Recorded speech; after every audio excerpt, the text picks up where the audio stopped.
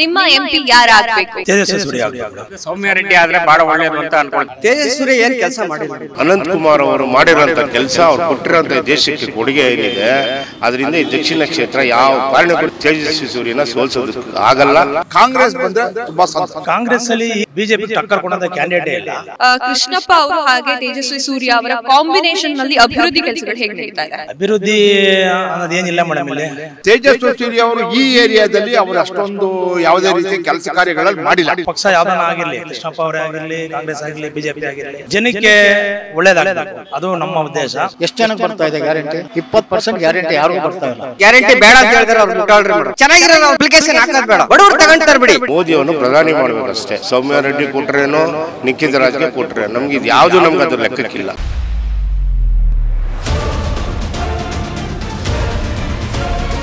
Sir ನಮಸ್ತೆ sir. ನಮಸ್ಕಾರ. Sir ನಿಮ್ಮ ಹೆಸರು? ಮಾದೇವ್ ಅಂತ. ನನ್ನ ಹೆಸರು ಎಲ್ಲರೂ ಬಿಜೆಪಿ ಮಾದೇವ್ ಅಂತಾನೆ ಕರೆಯೋದು.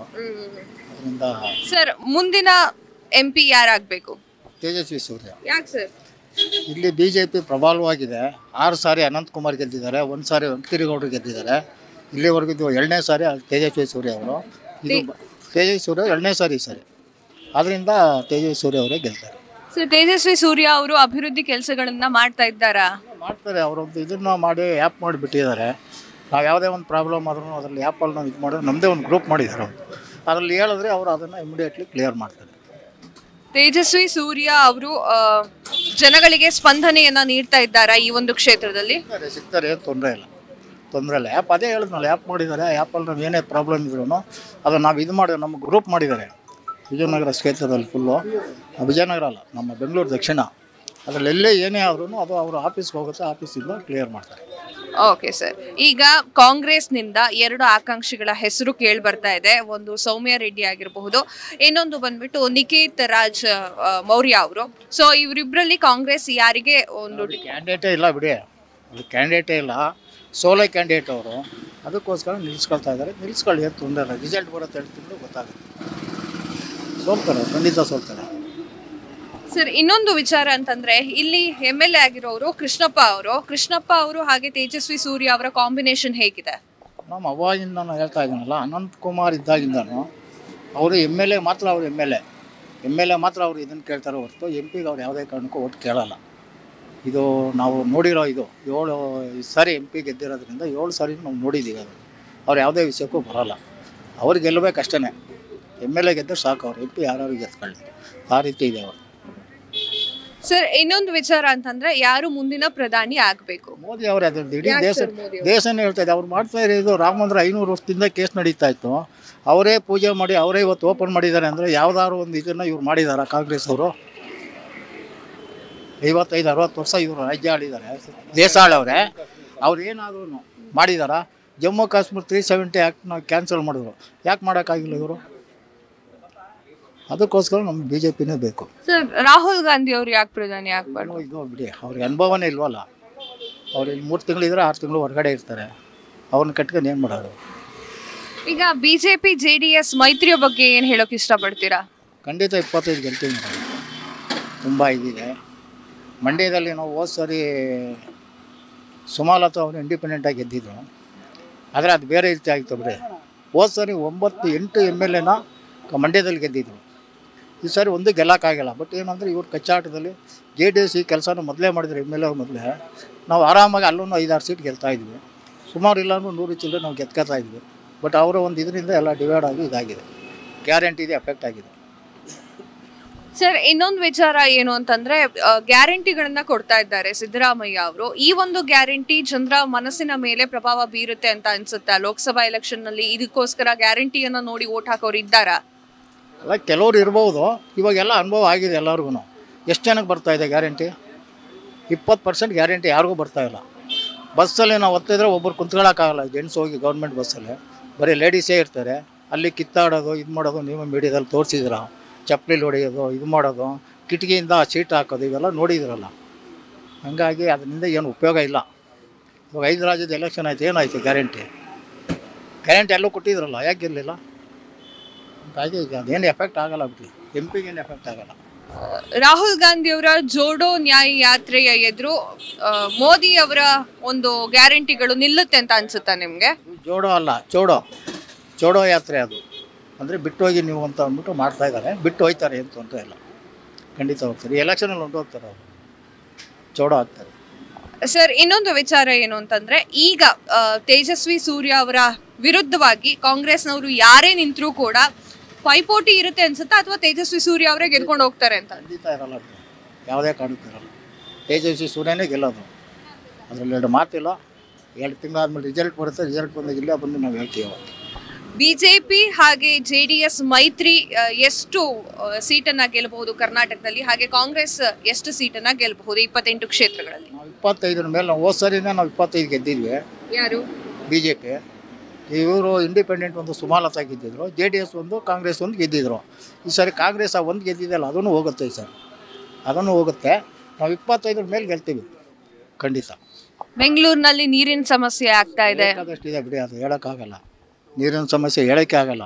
ಟ್ಯಾಂಕರ್ಗೆ ಆರುನೂರು ರೂಪಾಯಿ ಟ್ಯಾಂಕರ್ಗೆ ಎರಡು ಸಾವಿರ ಎರಡು ಸಾವಿರ ಎರಡೂವರೆ ಸಾವಿರ ರೂಪಾಯಿ ತಗೊಳ್ತಾರೆ. ಇವತ್ತು ನೀರು ಬೇಕು ಅಂತ ಹೇಳಿದ್ರೆ ಒಂದು ವಾರ ಬಿಟ್ಟು ನೀರು ಕಳಿಸ್ತಾರೆ.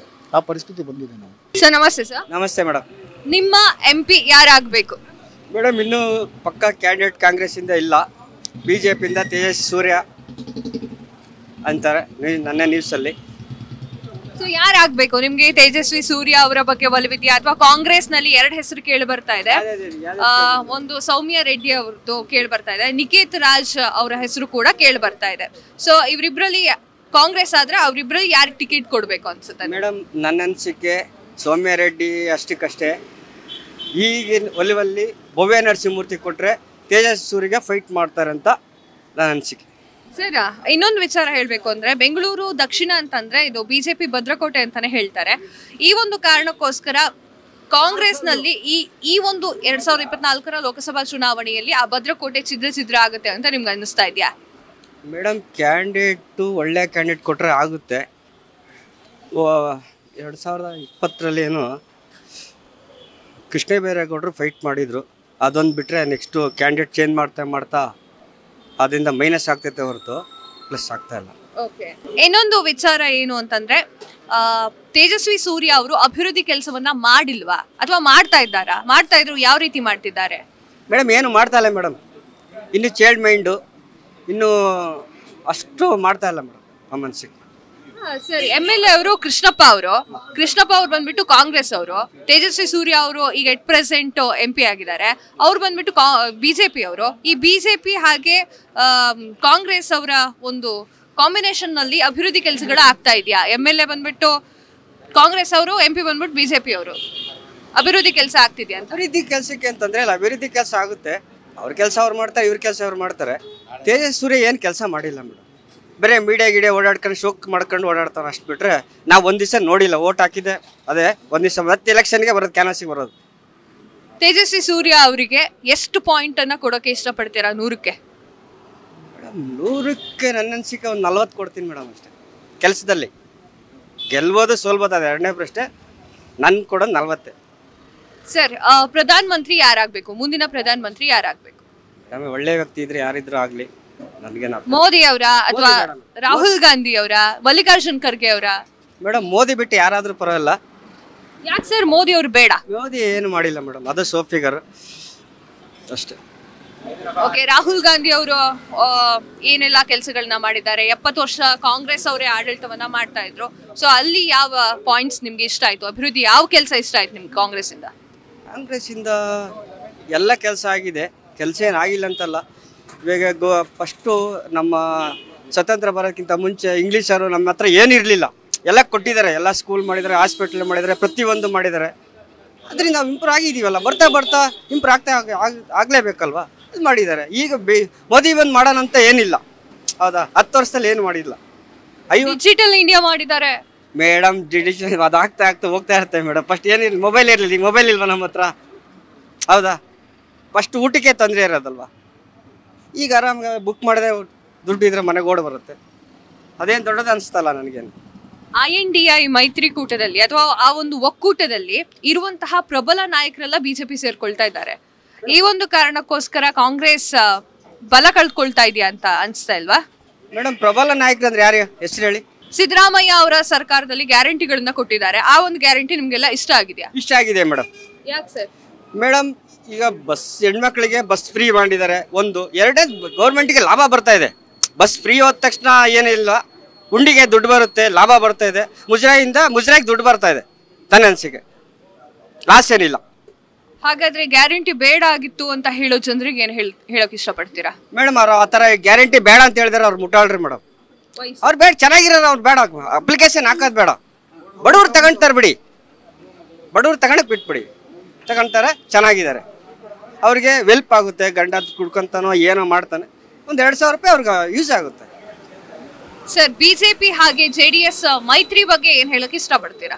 ಮೇಡಮ್ ಜೆ ಡಿ ಎಸ್ ಮುಳುಗೋಗ್ತಾ ಇತ್ತು ಏನಂತ ಉಳಿಸ್ಬೇಕಂತ ಹೋಗಿದ್ದಾರೆ ಅದು ಸಕ್ಸಸ್ ಆಗಲ್ಲ ಮೇಡಮ್ ಮೈತ್ರಿ ಮಾಡುವ ಅಗತ್ಯ ಇತ್ತಿಲ್ವಾ ಇಲ್ಲ ಅಗತ್ಯ ಇರಲಿಲ್ಲ ಮೇಡಮ್ ದೇವೇಗೌಡರು ಕಟ್ಟಿ ಇಷ್ಟು ವರ್ಷ ಕಟ್ಟಿ ಬೆಳೆಸಿರೋದ್ರಲ್ಲಿ ಇದು ಕುಮಾರಸ್ವಾಮಿ ಬಂದು ಹಾಳು ಮಾಡಿದ್ರು ಅಂತ ನನ್ನ ಅನಿಸಿಕೆ. ಓಕೆ ಸರ್ ಈಗ ಎರಡ್ ಸಾವಿರದ ಇಪ್ಪತ್ನಾಲ್ಕರ ಎಲೆಕ್ಷನ್ ಬರ್ತಾ ಇದೆ. ಸೊ ಈ ಒಂದು ಕಾರಣಕ್ಕೋಸ್ಕರ ಕೂರಿ ನಿಂತ್ಕೊಳ್ಳಿ ಸರ್. ಒಂದೇ ಕ್ವಶನ್ ಲಾಸ್ಟ್ ಲಾಸ್ಟ್ ಕ್ವಶನ್ ಎರಡ್ ಸಾವಿರದ ಇಪ್ಪತ್ನಾಲ್ಕರ ಲೋಕಸಭಾ ಎಲೆಕ್ಷನ್ ಬರ್ತಾ ಇದೆ. ಸೊ ಈ ಒಂದು ಕಾರಣಕ್ಕೆ ಇಲ್ಲಿ ಕರ್ನಾಟಕದಲ್ಲಿ ಇಪ್ಪತ್ತೆಂಟು ಕ್ಷೇತ್ರಗಳಿದೆ. ಇಪ್ಪತ್ತೆಂಟು ಕ್ಷೇತ್ರಗಳಲ್ಲಿ ಬಿಜೆಪಿ ಎಷ್ಟು ಕ್ಷೇತ್ರ ಗೆಲ್ಲುತ್ತೆ ಹಾಗೆ ಕಾಂಗ್ರೆಸ್ ಎಷ್ಟು ಕ್ಷೇತ್ರವನ್ನ ಗೆಲ್ಲಬಹುದು? ಮೇಡಮ್ ಕಾಂಗ್ರೆಸ್ ಹದಿನೈದು ಗೆಲ್ಲುತ್ತೆ ಮೇಡಮ್ ನಮಸ್ತೆ ಸರ್. ನಮಸ್ತೆ ಮೇಡಮ್ ನಿಮ್ಮ ಎಂ ಪಿ ಯಾರಾಗಬೇಕು? ತೇಜಸ್ವಿ ಸೂರ್ಯ ಆಗ್ಬೇಕು ಮೇಡಮ್ ಯಾಕೆ ಸರ್? ತೇಜಸ್ವಿ ಸೂರ್ಯ ಅಂದರೆ ನಮ್ಮ ಇದು ಬಿ ಜೆ ಪಿ ಭದ್ರಾಕೋಟೆ. ನಮ್ಮ ಬೆಂಗಳೂರು ದಕ್ಷಿಣ ಬಿ ಜೆ ಪಿ ಭದ್ರಕೋಟೆ ಮತ್ತು ತೇಜಸ್ವಿ ಸೂರ್ಯ ಅವರು ನಮ್ಮ ಅನಂತ್ ಕುಮಾರ್ ಅವರ ಗಾಡೀಲಿ ಬೆಳೆದಂಥವರು. ವಿದ್ಯಾವಂತರಿದ್ದಾರೆ, ವಿಚಾರವಂತರಿದ್ದಾರೆ. ಮತ್ತು ಅವರು ಪಾರ್ಲಿಮೆಂಟಲ್ಲಿ ಏನು ನಮ್ಮ ರಾಜ್ಯದ್ದು ಏನು ಮಾತಾಡಬೇಕು, ಏನು ಸಮಸ್ಯೆಗಳಿದೆ, ಅದನ್ನು ಕುಲಂಕುಷವಾಗಿ ಮಾತಾಡಿ ಅಲ್ಲಿ ಬಗೆಹರಿಸತಕ್ಕಂಥ ಶಕ್ತಿ ಅವರಲ್ಲಿದೆ. ಮತ್ತು ಯುವಕರಿದ್ದಾರೆ. ಹಾಗಾಗಿ ತೇಜಸ್ವಿ ಅವರು ಇಲ್ಲಿಗೆ ಎಲ್ಜಿ ಬಿಟ್ಟಿದ್ದಾರೆ ಹಿಂದೆ ಎರಡು ಸಲನೂ ಅವ್ರು ಗೆದ್ದಿದ್ರು. ಸೊ ತೇಜಸ್ವಿ ಸೂರ್ಯ ಅವರ ಯಾವೊಂದು ಕೆಲಸ ನಿಮ್ಗೆ ಅಷ್ಟು ಖುಷಿಯನ್ನು ತಂದಿದೆ? ತೇಜಸ್ವಿ ಸೂರ್ಯ ಅವರು ಅವ್ರಿಗೆ ಕೊಟ್ಟಂತಹ ಕೆಲಸನ, ಯಾವುದೇ ಕೆಲಸ ಆದರೂ ಅವರ ಶಕ್ತಿ ಮೀರಿ ಪ್ರಯತ್ನ ಮಾಡಿ ನಮ್ಮ ಪಾರ್ಲಿಮೆಂಟಿಂದ ಮೋದಿಯವರ ಮನ ಗೆದ್ದು ಇಲ್ಲಿಗೆ ಏನು ತರಬೇಕು? ಮತ್ತು ಅವರ ಯೋಜನೆಗಳು ಭಾಳ ಚೆನ್ನಾಗಿದೆ. ಮತ್ತು ಭಾಳ ಆರಾಮಾಗಿ ನಮ್ಮ ಜನಸಾಮಾನ್ಯರಿಗೆ ಸಿಕ್ಕಂಥ ವ್ಯಕ್ತಿ. ಅವರು ಎಂ ಪಿ ಅನ್ನೋ ಒಂದು ಯಾವುದೇ ಒಂದು ಅಮ್ಮು ಬಿಂಬಿಲ್ಲ ಸ್ನೇಹಿತರ ಥರ ನಮ್ಮ ಜೊತೇಲಿ ಇರ್ತಾರೆ. ನಮ್ಮ ಜೊತೆ ಅಂದರೆ ನಾರ್ಮಲಾಗಿ ಕ್ಷೇತ್ರ ಜನಗಳ ಜೊತೆ ಸ್ಪಂದಿಸ್ತಾರೆ. ಕನ್ನಡದ ಪರವಾಗಿ ಏನೇ ವಿಚಾರ ಬಂದರೂ ಧನಿ ಎತ್ತಿದ್ದಾರೆ ಮತ್ತು ಇಲ್ಲಿ ಕ್ಷೇತ್ರದ ಯಾವುದೇ ವಿಚಾರಗಳಾದ್ರೂ ಅವರು ಅಲ್ಲಿ ಭಾಳ ಇದರಿಂದ ಮಾತಾಡಿ ನಮಗೆ ಸ್ಪಂದಿಸ್ತಾರೆ ಮೇಡಮ್. ಹಾಗಾಗಿ ತೇಜಸ್ವಿ ಆಗಬೇಕು ಬೆಂಗಳೂರು ದಕ್ಷಿಣ ಅಂತಂದ್ರೆ ಬಿಜೆಪಿ ಭದ್ರಕೋಟೆ ಇಲ್ಲಿ ಕಾಂಗ್ರೆಸ್ನಲ್ಲಿ ಯಾವ ಕ್ಯಾಂಡಿಡೇಟ್ ನಿಲ್ಸಿದ್ರೆ ಒಂದು ಟಕ್ಕರ್ ಕೊಡ್ಬೋದು ತೇಜಸ್ವಿ ಸೂರ್ಯ ಅವರಿಗೆ? ಕಾಂಗ್ರೆಸ್ಸಲ್ಲಿ ಈಗಿರೋ ಸದ್ಯದ ಪರಿಸ್ಥಿತಿಯಲ್ಲಿ ಮೇಡಮ್ ನಾವು ಈಗ ಒಂದು ಹತ್ತು ವರ್ಷ ಹದಿನೈದು ವರ್ಷದಿಂದ ನೋಡ್ತಾ ಇದ್ದೀವಿ. ಇಲ್ಲಿ ಈಗಿನ ಸದ್ಯದ ಪರಿಸ್ಥಿತಿಯಲ್ಲಿ ಬಿ ಜೆ ಪಿಗೆ ಟಕ್ಕರ್ ಕೊಡೋಂಥ ಕ್ಯಾಂಡಿಡೇಟೇ ಇಲ್ಲ.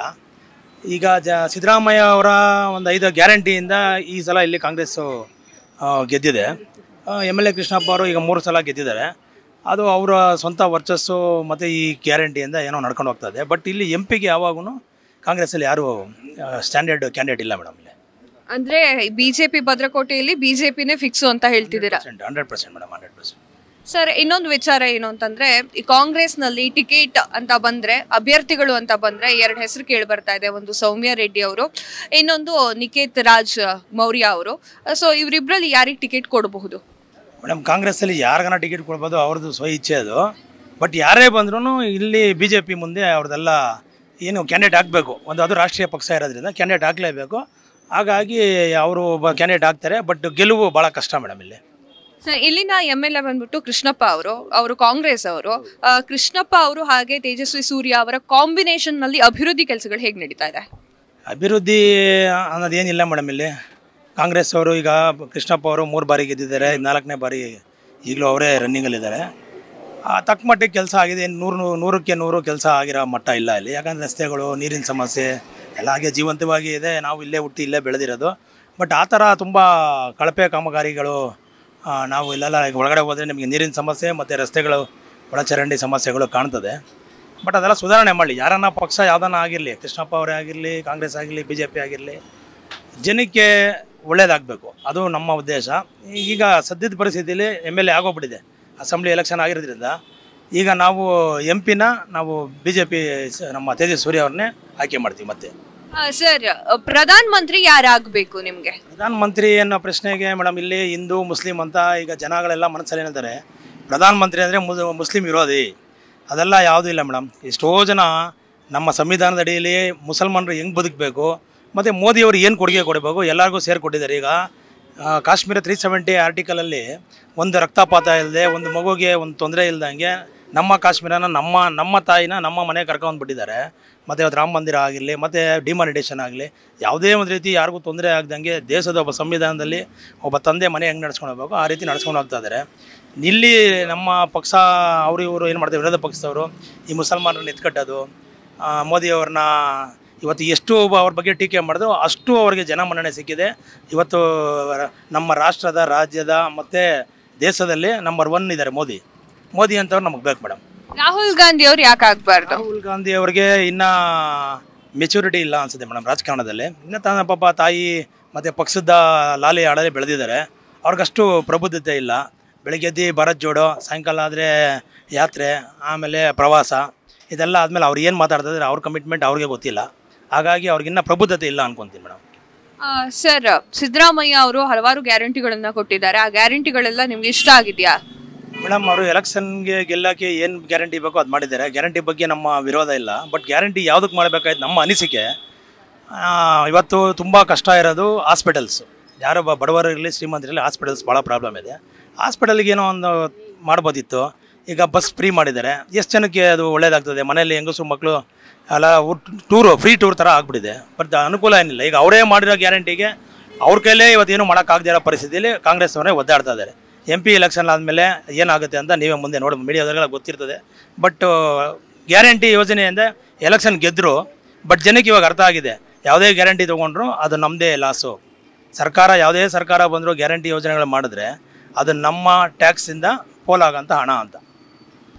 ಸರ್ ಇನ್ನೊಂದು ವಿಚಾರ ಹೇಳಬೇಕು ಅಂತಂದ್ರೆ, ಈ ಒಂದು ಕರ್ನಾಟಕದಲ್ಲಿ ಇಪ್ಪತ್ತೆಂಟು ಕ್ಷೇತ್ರಗಳಲ್ಲಿ ಎಷ್ಟು ಸೀಟನ್ನ ಕಾಂಗ್ರೆಸ್ ಅವ್ರು ಗೆಲ್ಲಬಹುದು ಅಥವಾ ಎಷ್ಟು ಸೀಟನ್ನ ಬಿಜೆಪಿ ಹಾಗೆ ಜೆ ಡಿ ಎಸ್ ಮೈತ್ರಿ ಗೆಲ್ಬಹುದು? ಮೇಡಮ್, ಈಗ ನಾಲ್ಕು ನಾಲ್ಕು ಬಾರಿ ನಡೆದಿರೋ ಎಲೆಕ್ಷನ್ ಸಮೀಕ್ಷೆ ನೋಡಿದ್ರೆ ಯಾವಾಗೂ ಹತ್ತೊಂಬತ್ತು, ಹದಿನೆಂಟು, ಇಪ್ಪತ್ನಾಲ್ಕು ಈಗ ಇಲ್ಲಿ ನಮ್ಮ ಕರ್ನಾಟಕದ ಕೊಡುಗೆ ಬಿ ಜೆ ಪಿಯಿಂದ ಈ ಸಣ್ಣ ಮ್ಯಾಕ್ಸಿಮಮ್ ಒಂದು ಇಪ್ಪತ್ತೈದು ಇಪ್ಪತ್ತೈದು ಇಪ್ಪತ್ತೈದು ಗಂಟೆ ರೀಚ್ ಮಾಡ್ತಾರೆ ಮೇಡಮ್. ಸರ್ ಬಿಜೆಪಿ ಹಾಗೆ ಜೆ ಡಿ ಎಸ್ ಮೈತ್ರಿ ಬಗ್ಗೆ ಏನ್ ಹೇಳೋಕೆ ಇಷ್ಟಪಡ್ತೀರಾ?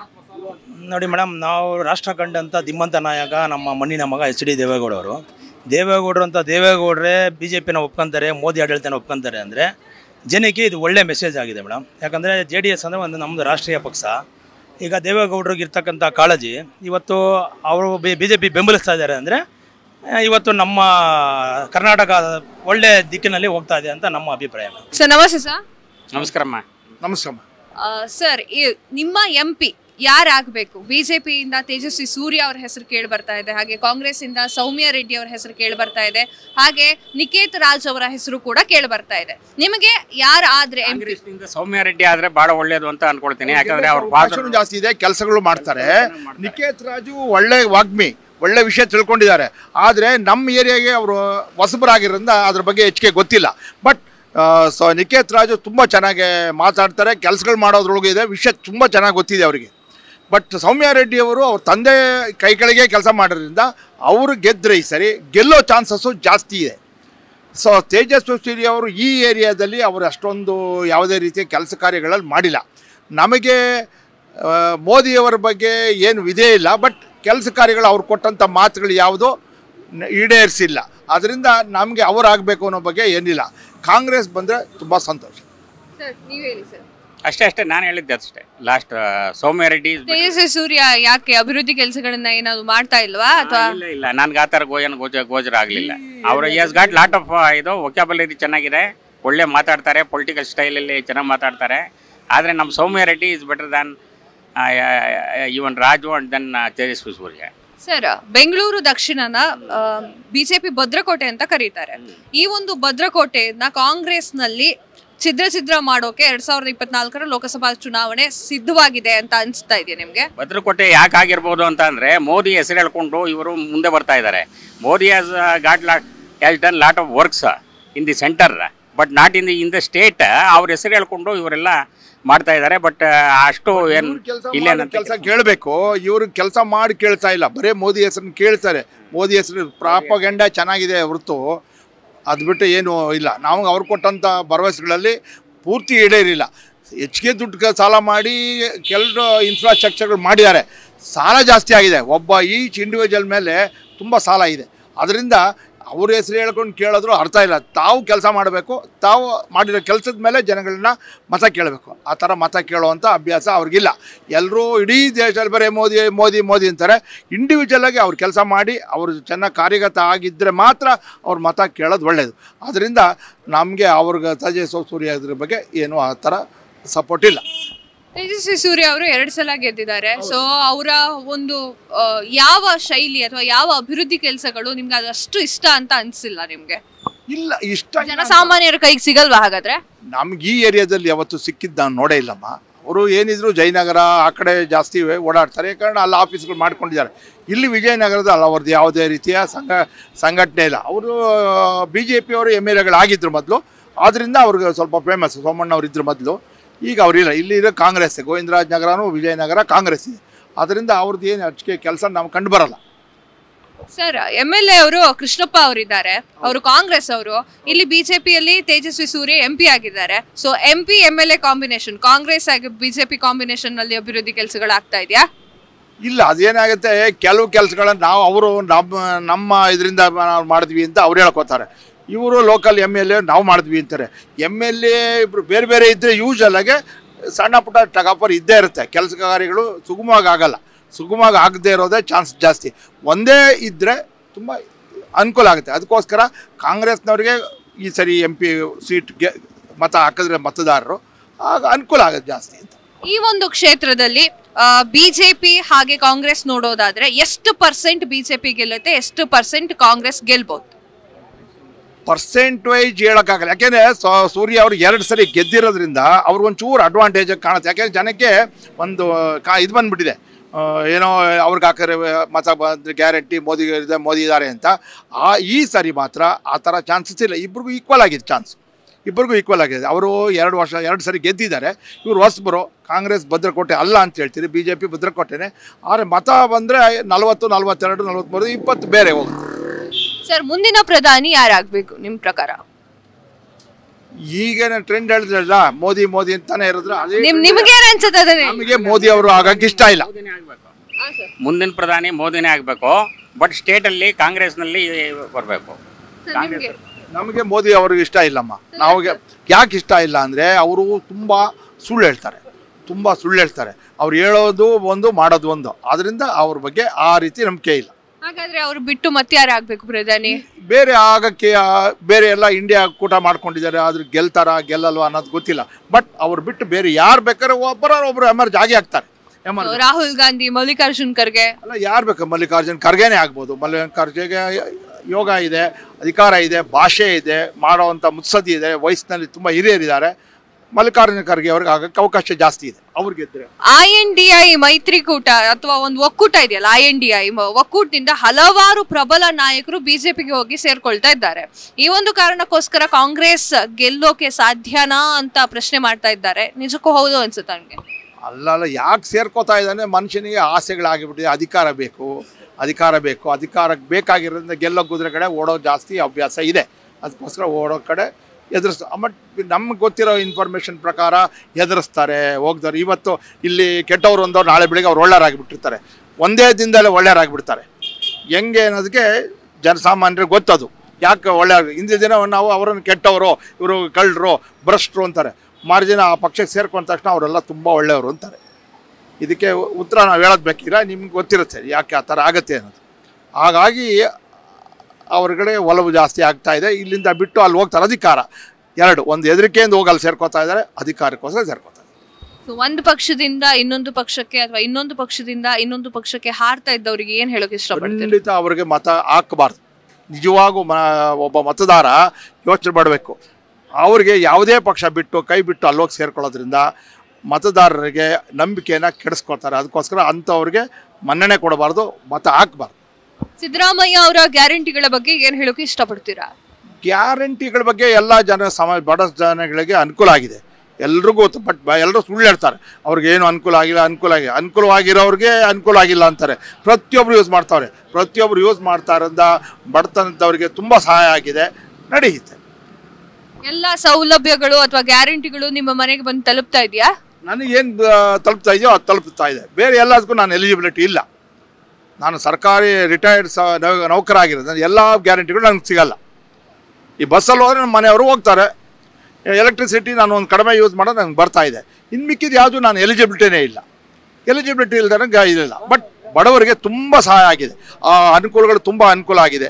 ಬಟ್ ಇವರು ಪ್ರಾಪಗೆಂಡ ಮಾಡ್ತಾರೆ. ಏನು ತಲುಪಿಲ್ಲ ತಲುಪಿಲ್ಲ. ಬ, ನೀವು ಇದನ್ನ ಪ್ರಶ್ನೆ ಬಡವರಿಗೆ ಕೇಳಬೇಕು. ಇಂದಿರಾ ಕ್ಯಾಂಟೀನ್ ಇಂದಿರಾ ಕ್ಯಾಂಟೀನ್ ಬಾಗಿಲಲ್ಲಿ ನಿಂತ್ಕೊಂಡು ನೋಡಿ ಅಲ್ಲಿರೋ ಅನುಕೂಲ ಆಗುತ್ತೆ. ಬಟ್ ಸುಳ್ಳು ಹೇಳ್ತಾರೆ ಇವರು. ಓ ಯಾರು ಇದು ಮಾಡಲ್ಲ ಚೆನ್ನಾಗಿಲ್ಲ ಅದಿಲ್ಲ ಎಲ್ಲ ಸುಳ್ಳು. ಈಗ ಇರುವಂತಹ ಹಾಲಿ ಎಂ ಪಿ ಅವರಿಗೆ ಎಷ್ಟು ಮಾರ್ಕ್ಸ್ ಅನ್ನ ಕೊಡೋಕೆ ಇಷ್ಟಪಡ್ತೀರಾ ಹಂಡ್ರೆಡ್ಗೆ ಒಂದು ಇಪ್ಪತ್ತೆಂಟು ಪರ್ಸೆಂಟ್ ಕೊಡ್ಬೋದಮ್ಮ. ಅಷ್ಟೇ ಕೊಡೋಕ್ಕೆ ಸಾಧ್ಯ. ಟ್ವೆಂಟಿ ಏಯ್ಟ್ ಪರ್ಸೆಂಟ್ ಬಿಜೆಪಿ ಹಾಗೆ ಎಸ್ ಮೈತ್ರಿಯ ಬಗ್ಗೆ ಏನು ಹೇಳೋಕೆ ಇಷ್ಟಪಡ್ತೀರಾ? ಒಳ್ಳೆ ಮೈತ್ರಿ ಅಲ್ಲ ಅದು ಆಗಬಾರ್ದು. ಯಾವುದೇ ನಾನು ನೀವು ಒಂದು ಕುಸ್ತಿ ಆಡ್ಬಿಟ್ಟು ಒಂದಿನ ಒಂದೇ ಆಗ್ಬಿಟ್ಟು ಅಧಿಕಾರ ಬೇಕು ಅಂತ ಒಂದಾಗ್ಬಿಟ್ರೆ ನಿಮ್ಮನ್ನು ನಾನು ಇನ್ನೊಂದು ಚುನಾವಣೆ ಬೈದಿರ್ತೀನಿ. ಮತ್ತೆ ನಾವು ಫೈಟ್ ಮಾಡಿರ್ತೀವಿ. ಅಷ್ಟೆಲ್ಲ ಇದ್ದು ಅವ್ರದ್ದೇ ತತ್ವ ಬೇರೆ ಇವ್ರದ್ದೇ ತತ್ವ ಬೇರೆ ಎರಡು ಸಿದ್ಧಾಂತಗಳು ಬೇರೆ. ಬಿ ಜೆ ಪಿ ಒಂದು ತತ್ವ ಸಿದ್ಧಾಂತದ ಮೇಲೆ ಇದೆ ಜೆ ಡಿ ಎಸ್ ಒಂದು ತತ್ವ ಸಿದ್ಧಾಂತದ ಮೇಲೆ ಇದೆ. ಎರಡು ಹೊಂದಾಣಿಕೆ ಆಗದೇ ಇರೋವಂಥ ಪಕ್ಷ ಕೊನೇ ಗಳಿಗೆಯಲ್ಲಿ ಆ ಒಂದು ಆಗಿದೆ. ಅದರಿಂದ ಯಾವುದೇ ರೀತಿ ಅನುಕೂಲ ಆಗಲ್ಲ. ಅವರು ಅಸ್ತಿತ್ವ ಉಳಿಸ್ಕೊಳ್ಳೋಕೆ ಮಾತ್ರ ಸೇರ್ಕೊಂಡಿದ್ದಾರೆ.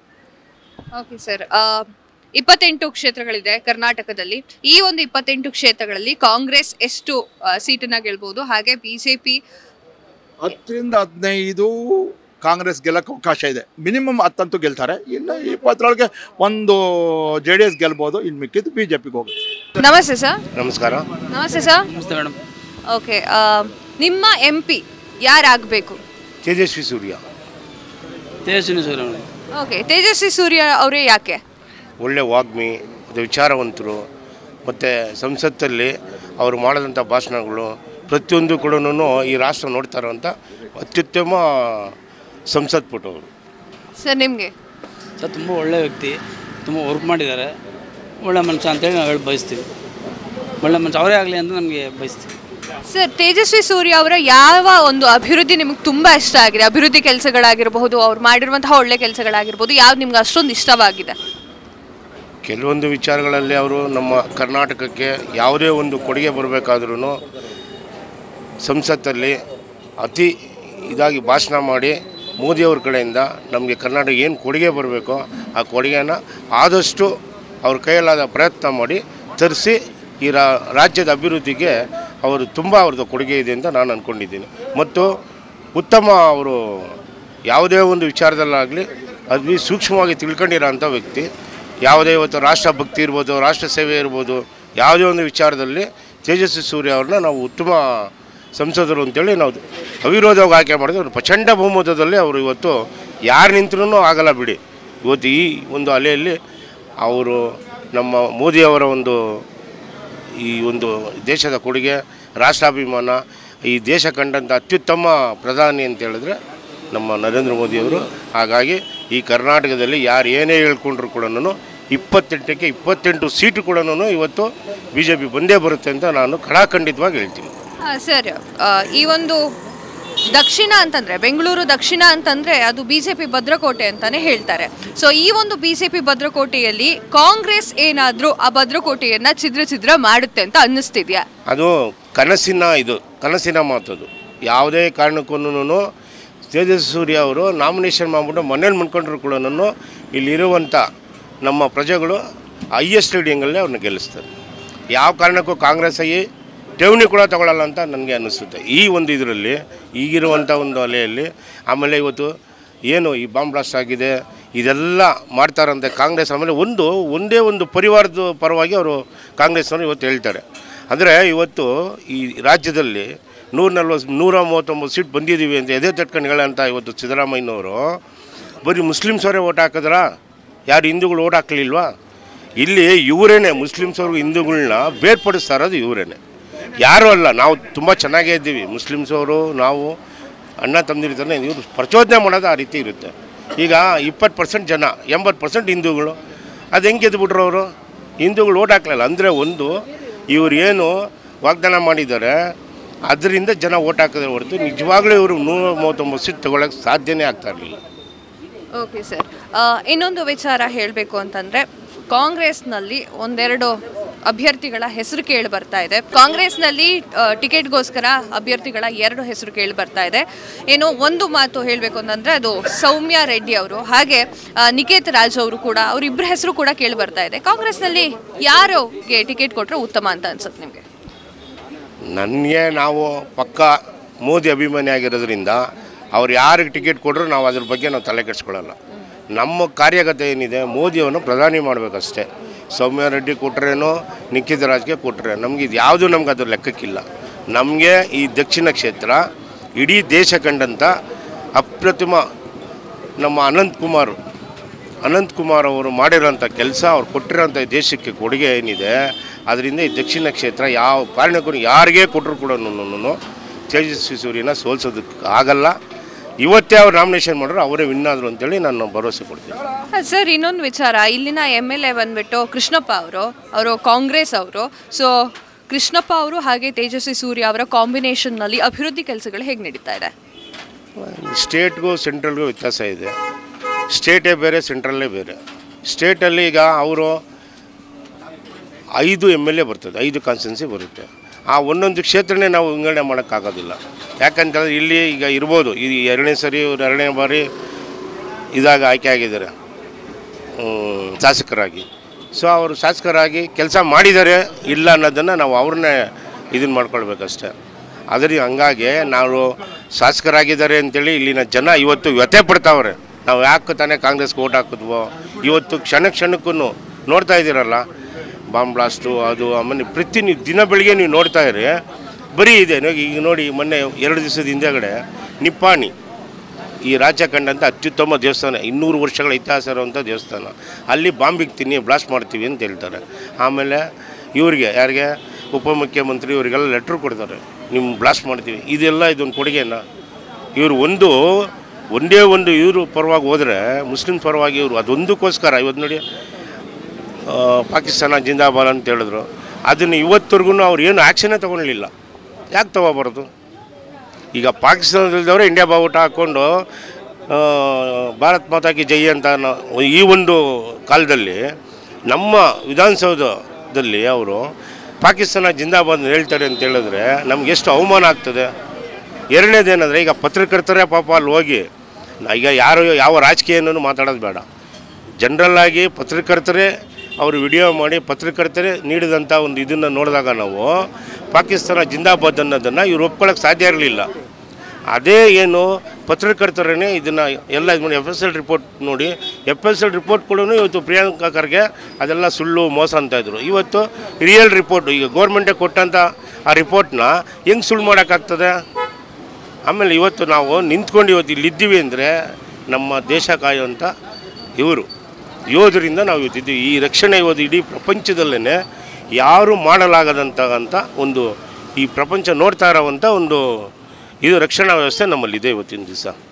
ಸರ್ ನೀವು ಪ್ರಧಾನಿ ಮೋದಿ ಆಗಬೇಕು ಅಂತ ಹೇಳಿದರೆ ಸೊ ರಾಹುಲ್ ಗಾಂಧಿ ಅವರು ಯಾಕೆ ಆಗಬಾರ್ದು? ನೋಡಿ ಮೇಡಮ್ ಯಾರಿಗೆ ಯಾವ ವ್ಯಕ್ತಿಗೆ ದೇಶದ ಬಗ್ಗೆ ಅಭಿಮಾನ ಇರ್ತದೆ ಅವ್ರಿಗೆ ನಾವು ಅಭಿಮಾನ ಮಾಡಬೇಕು. ಈಗ ನೋಡಿ ನಮ್ಮ ದೇಶದ ಕಥನೆ ತೊಗೊಂಡು ಇನ್ನೊಂದು ದೇಶದಲ್ಲಿ ಹೇಳಿದ್ರೆ ಅವ್ನು ಪ್ರಧಾನಿ ಆಗೋಕ್ಕೆ ಲಾಯಕ. ಈಗ ನಮ್ಮ ದೇಶದ ಏನೋ, ಏನೇ ಒಂದು ಇರುತ್ತೆ, ನಮ್ಮ ಒಳ ಜಗಳಗಳಿರ್ತದೆ ಇಲ್ಲಿ ಏನೋ ಒಂದು ಇರ್ಬೋದು. ಇಲ್ಲಿ ಅವ್ರ ನಿಮ್ಮದಾಗಿಲ್ಲ ಇವ್ರು ನಿಮ್ಮದಾಗಿಲ್ಲ ಕ್ರಿಶ್ಚಿಯನ್ಸ್ ನಿಮ್ಮದಾಗಿಲ್ಲ ಇವತ್ತು ಯಾವುದೇ ನೀವು ಪ್ರಪಂಚದಲ್ಲಿ ಹೋದ್ರೂ ಈ ದೇಶದಲ್ಲಿ ಇರೋಂಥ ನೆಮ್ಮದಿಯಾಗಿರೋಂಥ ಜನ, ಈ ಮುಸ್ಲಿಮ್ಸವರೇ ಆಗಲಿ, ಇವತ್ತು ಈ ದೇಶದಲ್ಲಿ ನೆಮ್ಮದಿಯಾಗಿದ್ದಾರೆ. ಪಾಕಿಸ್ತಾನದಲ್ಲಿ ಅದೇ ಥರ ಇರೋಕ್ಕಾಗುತ್ತರ ಹದಿನೈದು ದಿವಸ ಆದರೆ, ಇಪ್ಪತ್ತು ದಿವಸ ಆದರೆ ಬಾಂಬ್ ಬ್ಲಾಸ್ಟ್ಗಳು ಆಗ್ತಾನೆ ಇರ್ತದೆ. ಯಾರೂ ನೆಮ್ಮದಿಯಾಗಿ ಇರೋಕ್ಕಾಗಲ್ಲ ಇವತ್ತು ಈ ದೇಶದಲ್ಲಿ ನೆಮ್ಮದಿಯಾಗಿದ್ದಾರೆ. ಸುಮ್ಮನೆ ಇವರೇನು ಗೊತ್ತರ ಓಟ್ಗೋಸ್ಕರ ಪ್ರಚಾರ ಮಾಡ್ತಾ ಇದ್ದಾರೆ ಅಷ್ಟೇ ಹೊರ್ತು ರಾಹುಲ್ ಗಾಂಧಿನ ಒಪ್ಕೊಳ್ಳೋಕ್ಕಾಗುತ್ತಾ ಯೋಚನೆ ಮಾಡಿ ನೀವೇ. ಹಾಂ? ಅವನು ಸುಮ್ಮನೆ ಇದನ್ನು ಮಾಡ್ತಾ ಇರ್ಬೋದು, ಪಾದಯಾತ್ರೆ ಮಾಡ್ತಾ ಇರ್ಬೋದು. ಅವನು ಓಡಾಡ್ಕೊಂಡು ಪಾದಯಾತ್ರೆ ಮಾಡಿದವನು. ಮೋದಿಯವರು ಒಂದೇ ಒಂದು ಭಾಷಣದಲ್ಲಿ ಈ ದೇಶದ ಜನನ ಒಪ್ಕೊಂತಾರೆ. ಈಗ ನಾವು ಅಷ್ಟೇ ನಮ್ಮ, ನಾವು ಅವ್ರ ವಂಶಸ್ಥರಲ್ಲಿ ನಾವು ಒಬ್ಬರು ಮೋದಿಯವರಿಗೆ ಯಾಕೆ ಅಂತ ಹೇಳಿದ್ರೆ ಮೊನ್ನೆ ಇವನು ಹೇಳಿದ್ರು, ಯಾರೋ ಬಿಹಾರ ಮುಖ್ಯಮಂತ್ರಿ. ಇಲ್ಲೂ ಯಾರೋ? ಲಾಲು ಪ್ರಸಾದ್ ಯಾದವ್. ಲಾಲು ಪ್ರಸಾದ್ ಯಾದವ್ ಅವನು ಮುಖ್ಯಮಂತ್ರಿ. ಏಕವಚನದಲ್ಲೇ ಮಾತಾಡಬೇಕು. ಯಾಕೆ ಅಂತ ಹೇಳಿದ್ರೆ, ಈ ದನಿಕಾಗ ಗೊಬ್ಬರದಲ್ಲೂ ಕೊಡು. ಒಂಬೈನೂರ ಐವತ್ತು ಕೋಟಿ ಹಗರಣದಲ್ಲಿ ಅವನು ಒಬ್ಬ ಇವನವನು. ಮೇವು ಹಗರಣದಲ್ಲಿ ದೊಡ್ಡ ಇದಾಗಿ ಜೈಲು ಸೇರ್ಕೊಂಡಂಥ ವ್ಯಕ್ತಿ. ಅಂಥ ವ್ಯಕ್ತಿ ಒಬ್ಬ ನಮ್ಮ ಈ ದೇಶ ಕಂಡಂಥ ಅತ್ಯುತ್ತಮ ಇವ್ರನ್ನ ಪ್ರಧಾನಿಯವ್ರನ್ನ ಏನು ಒಂದು ಇದರ ಚ ಇದನ್ನು ಮಾಡೋದು ಭಾಳ ಏಕವಚನದಲ್ಲಿ ಮಾತಾಡ್ತಾನೆ ಅಂತ ಹೇಳಿದ್ರೆ, ಅವ್ರನ್ನೆಲ್ಲ ನಾವು ಅವ್ರನ್ನೆಲ್ಲ ನಾವು ಇದಕ್ಕೆ ತಗೊಳ್ಬಾರ್ದು. ಅಲ್ಲಲ್ಲೂ ಪ್ರಸಾದ್ ನೋಡಿ ಇಡೀ ವಂಶಸ್ಥರು. ಈಗ ಬೇರೆ ಯಾರು ಇರಲಿಲ್ವಾ ಮುಖ್ಯಮಂತ್ರಿ ಮಾಡೋಕ್ಕೆ? ಅವ್ನು ಯಾವಾಗ ಜೈಲಿಗೆ ಇದಾದ್ನೋ ಅವಾಗ ರಾಬಡಿ ದೇವಿನ ಮುಖ್ಯಮಂತ್ರಿ ಮಾಡ್ದ. ಇವತ್ತೇನಾಯಿತು? ಅಲ್ಲೂ ಅಷ್ಟೇ ಬೇರೆಲ್ಲೂ ಕೂಡ ಇವತ್ತು ನಿತೀಶ್ ಕುಮಾರು ಒಂದು ಸರಿ ಆ ಕಡೆ ಒಂದು ಸರಿ ಈ ಕಡೆ. ಈಗೇನಾಯಿತು ಮೋದಿನೂ ಅವ್ರನ್ನ ನಾವು ಇದನ್ನು ಮಾಡೋಕ್ಕಾಗಲ್ಲ ಅಂತೇಳಿ ಮತ್ತೆ ಅವರು ನಮ್ಮ ಇಂಡಿಯಾ ಇದಕ್ಕೆ ಬಂದಿದ್ದಾರೆ. ಆದ್ದರಿಂದ ಈ ದೇಶ ಕಂಡಂಥ ಅತ್ಯುತ್ತಮ. ಈ ರಾಷ್ಟ್ರ ಪ್ರಪಂಚನೇ ನೋಡ್ತಾ ಇರುವಂಥ ನೂರ ನಲವತ್ತ್ಮೂರು ರಾಷ್ಟ್ರಗಳು ಇವತ್ತು ಮೋದಿಯವ್ರನ್ನ ವಿಶ್ವಗುರು ಅಂತ ಒಪ್ಕೊಳ್ಳೋವಾಗ ಇಲ್ಲಿಂದ ನಾವು ಪ್ರಜೆಗಳು ನಾವು ಯಾಕೆ ಒಪ್ಕೋಬಾರ್ದು ಮೋದಿಯವ್ರನ್ನ ಅದರಿಂದ ಮೋದಿಯವರೇ ಸರಿ ಬರೋದು. ನಾನ್ನೂರು ಸೀಟ್ ಅಂತ ಗ್ಯಾರಂಟಿ ಬಂದೇ ಬರುತ್ತೆ. ಇವತ್ತು ತಮಿಳ್ನಾಡು, ತಮಿಳ್ನಾಡಲ್ಲಿ ಅಣ್ಣಾಮಲೈಯವರು ಇವತ್ತು ನೀವು ನೋಡಿರ್ಬೋದು, ನೀವು ಪತ್ರಕರ್ತರಾಗಿ ನೋಡ್ತಾ ಇದ್ದೀವಿ ನಾವು ಕೂಡ ನೋಡ್ತಾ ಇದ್ದೀವಿ ಇಷ್ಟು ಬೆಳವಣಿಗೆ ಆಗ್ತದೆ ಅಂತ ಯಾರೂ ನಂಬಿರಲಿಲ್ಲ. ಅಣ್ಣಾಮಲೈಯವರು ಇವತ್ತು ಇಂಡಿಯನ್ ಪೊಲೀಸ್ ಸರ್ವೀಸಲ್ಲಿ ಅವರು ರಿಟೈರ್ಡ್ ಆಗಿ ಇವತ್ತು ಒಬ್ಬ ಒಳ್ಳೆ ಅಧ್ಯಕ್ಷರಾಗಿ ಬಿ ಜೆ ಪಿ ಅಧ್ಯಕ್ಷರಾಗಿ, ಬಾ, ನೆಲೆ ಇಲ್ಲದರೆ ಅಂತ ಜಾಗ ಅದು. ತಮಿಳುನಾಡು ನೆಲೆನೇ ಇಲ್ಲ. ಬಿ ಜೆ ಪಿ ಬಾವುಟ ಅಂದರೆ ಏನಂತಲೇ ಗೊತ್ತಿಲ್ಲ. ಅಂಥದ್ರಲ್ಲಿ ಇವತ್ತು ಅಣ್ಣಾಮಲೈ ಅವರು ಇಡೀ ಭಾರತ ದೇಶ ನೋಡಬೇಕು. ಆ ಮಟ್ಟದಲ್ಲಿ ಇವತ್ತು ಅಲ್ಲಿ ಇದರಲ್ಲಿ ಪ್ರಚಾರ ಮಾಡ್ತಾ ಇದ್ದಾರೆ. ಅಲ್ಲೂ ಕೂಡ ಅಷ್ಟೇ ಹತ್ತರಿಂದ ಹದಿನೈದು ಒಂದು ನನ್ನ ನನ್ನ ಕಣ್ಣು ಮಟ್ಟಿಗೆ ಹದಿನೈದು ಸೀಟನ್ನು ಗ್ಯಾರಂಟಿ ಬಿ ಜೆ ಪಿ ಬಂದೇ ಬರುತ್ತೆ. ಸರ್ ಸಿದ್ದರಾಮಯ್ಯ ಅವರ ಗ್ಯಾರಂಟಿಗಳ ಬಗ್ಗೆ ನಿಮ್ಗೆ ಏನು ಅಭಿಪ್ರಾಯ ಇದೆ? ಆ ಗ್ಯಾರಂಟಿಗಳೆಲ್ಲ ನಿಮ್ಗೆ ಇಷ್ಟ ಆಗಿದೆಯಾ? ಇಲ್ಲ ಮೇಡಮ್. ಏನಕ್ಕೆ ಗ್ಯಾರಂಟಿ ಕೊಟ್ಟರು ಅಂತ ಅದು ಅವರೇ ಕೇಳ್ಕೋಬೇಕು ಅವ್ರನ್ನೇ ಕೇಳಬೇಕು. ಆ ಗ್ಯಾರಂಟಿಯಿಂದನೇ ಇವತ್ತು ಈ ಜನ ಓಟ್ ಹಾಕಿದ್ದೆ ಹೊರತು ಇವತ್ತು ಓಟ್ ಆಗಿರೋಂಥ ಜನನೇ ಹೇಳ್ತಾವ್ರೆ ಯಾಕೆ ಕೊಟ್ರಿ ಗ್ಯಾರಂಟಿ? ನೋಡ್ರಿ ಇಲ್ಲಿಂದ ಒಬ್ಬ ವ್ಯಕ್ತಿ ರಾಯಚೂರು ಪ್ರಯಾಣ ಮಾಡಬೇಕು ಅಂತ ತಿಳ್ಕೊಳ್ಳಿ ಎಂಟುನೂರು ರೂಪಾಯಿ ಬಸ್ ಚಾರ್ಜ್ ಒಬ್ಬ ವ್ಯಕ್ತಿಗೆ. ಇವತ್ತು ಎಂಟುನೂರು ರೂಪಾಯಿ ಅಪ್ ಆ್ಯಂಡ್ ಡೌನು ಸಾವಿರದ ಆರುನೂರು ರೂಪಾಯಿ ಆಗುತ್ತೆ. ಎಷ್ಟು ಕೋಟಿ ಇವತ್ತು ನಾವು ಅದಕ್ಕೋಸ್ಕರ ಸ ಇದಾಗುತ್ತೆ.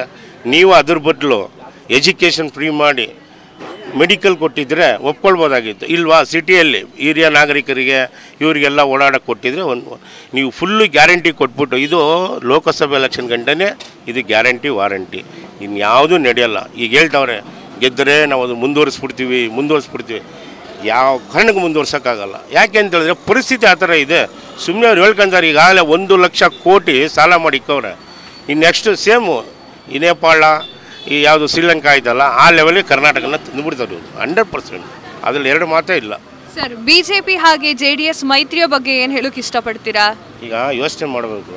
ಒಂದು ಕಾಲದಲ್ಲಿ ಜೆ ಡಿ ಎಸ್ನವರು ನಮ್ಮ ದೇವೇಗೌಡರು ಬಿ ಜೆ ಪಿನ ವಿರೋಧಿಸ್ತಾ ಇದ್ದಂಥವ್ರು. ಇವತ್ತು ಅವರೇ ಬಿ ಜೆ ಪಿ ಇವತ್ತು ಒಂದು ಒಳ್ಳೆ ಪ್ರಧಾನಿ ಅಂತೇಳಿ ಅವರೇ ಹೇಳ್ತವ್ರೆ ಅಂತ ಹೇಳಿದ್ರೆ ಯಾವ ಮಟ್ಟದಲ್ಲಿ ಇವತ್ತು ನಮ್ಮ ಪ್ರಧಾನಿ ಅವರು ಇದ್ದಾರೆ ಅನ್ನೋದನ್ನು ನಾವು ಯೋಚನೆ ಮಾಡ್ಕೊಳ್ಬೇಕು. ಯಾಕಂದರೆ ಅವರು ಪ್ರಧಾನಿ ಆಗಿದ್ದವರು. ಇವತ್ತು ಜೆ ಡಿ ಎಸ್ ಮೈತ್ರಿಯಿಂದ ನಮಗೆ ಒಂಥರ ಆನೆ ಬಲ ಬಂದಂಗೆ ಆಗಿದೆ. ಒಂದು ನಮ್ಮ ಗೌಡ್ರ ಓಟ್ಗಳು ಇರ್ಬೋದು ಪ್ರತಿಯೊಂದೂ ಹಂಡ್ರೆಡ್ ಪರ್ಸೆಂಟು ಬಿ ಜೆ ಪಿಗೆ ಚಾನ್ಸ್ ಇದೆ. ಸರ್ ಈ ಒಂದು ಲೋಕಸಭೆ ಎಲೆಕ್ಷನ್ನಲ್ಲಿ ಕರ್ನಾಟಕದಲ್ಲಿ ಇಪ್ಪತ್ತೆಂಟು ಕ್ಷೇತ್ರಗಳಿದೆ. ಈ ಒಂದು ಇಪ್ಪತ್ತೆಂಟು ಕ್ಷೇತ್ರಗಳಲ್ಲಿ ಬಿಜೆಪಿ ಎಷ್ಟು ಸ್ಥಾನವನ್ನು ತೆಗೆದುಕೊಳ್ಳಬಹುದು ಅಥವಾ ಕಾಂಗ್ರೆಸ್ಸು ಎಷ್ಟು ಸ್ಥಾನವನ್ನು ತೆಗೆದುಕೊಳ್ಳಬಹುದು? ತೆಗೆದುಕೊಳ್ಳೋದು ಅನ್ನೋದಕ್ಕಿಂತ ಕಾಂಗ್ರೆಸ್ನವರು ಕಳ್ಕೊಳ್ಳೋದೇ ಜಾಸ್ತಿ ಇದೆ. ಈಗ ಲಾಸ್ಟ್ ಟೈಮ್ ಇಪ್ಪತ್ತೈದರಲ್ಲಿ ಒಂದು ಸೀಟ್ ಗೆದ್ದಿದ್ರು ಕನಕಪುರ ಕ್ಷೇತ್ರ. ಇವತ್ತು ನಾವು ಚಾಲೆಂಜ್ ಮಾಡಿ ಹೇಳ್ತೀನಿ, ಯಾವ ಕಾರಣಕ್ಕೂ ಇವತ್ತು ಗೆಲ್ಲೋದಕ್ಕಾಗೋದಿಲ್ಲ. ಯಾಕೆ ಅಂತ ಹೇಳಿದ್ರೆ ಅಲ್ಲಿನ ಸಮೀಕ್ಷೆನೇ ನೀವು ನೋಡಿ. ಅಲ್ಲಿನ ಸಮೀಕ್ಷೆನೇ ಇವತ್ತು ನೋಡಿದಾಗ ಪ್ರತಿಯೊಬ್ಬರು ಕೂಡ ಬರೀ ರೌಡಿಸಮ್ ಮಾಡ್ತಾರೆ ಇದನ್ನು ಮಾಡ್ತಾರೆ, ದುಡ್ಡು ಹಣ ಅಣ್ಣ ಒಳ ಹಂಚ್ತಾರೆ, ಗೆಲ್ತಾರೆ ಅನ್ನೋ ಒಂದು ಅವ್ರ ಬಾಯಲ್ಲೇ ಬರ್ತದೆ ಇವತ್ತು ನಮ್ಮ ಜಯದೇವ ಡಾಕ್ಟರ್ ಮಂಜುನಾಥ್ ಅವರು ಇವತ್ತು ನಿಲ್ಲೋದಕ್ಕೆ ರೆಡಿಯಾಗಿದ್ದಾರೆ ನಿಲ್ತೇ ನಿಲ್ತಾರೆ ಹಂಡ್ರೆಡ್ ಪರ್ಸೆಂಟು ಗೆದ್ದೇ ಗೆಲ್ತಾರೆ. ಯಾಕೆಂದರೆ ಅಂಥ ವ್ಯಕ್ತಿಗಳು ಈ ದೇಶಕ್ಕೆ ಬೇಕು. ಎಷ್ಟೋ ಜನದ ಹೃದಯವನ್ನು ನೀಟಿ ಇವತ್ತು ಎಷ್ಟೋ ಜನಕ್ಕೆ ಪ್ರಾಣನ ಉಳಿಸಿ ಮಾಡಿದ್ದಾರೆ ಅಂತ ಹೇಳಿದ್ರೆ ಅಂಥ ವ್ಯಕ್ತಿನ ಗೆಲ್ಸಿದ್ರೆ ನಮಗೂ ಈ ದೇಶಕ್ಕೂ ಒಳ್ಳೆಯದಾಗುತ್ತೆ ಅಂತ ನನ್ನ ಅಭಿಪ್ರಾಯ.